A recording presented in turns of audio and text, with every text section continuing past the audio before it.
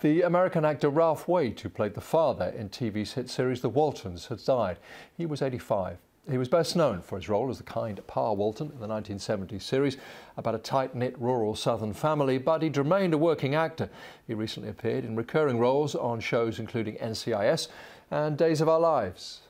Now, I know how you feel about drinking, Liv, but one glass of champagne every 25 years won't turn you into a sinner. Any more than two or three visits to church will make you into a saint.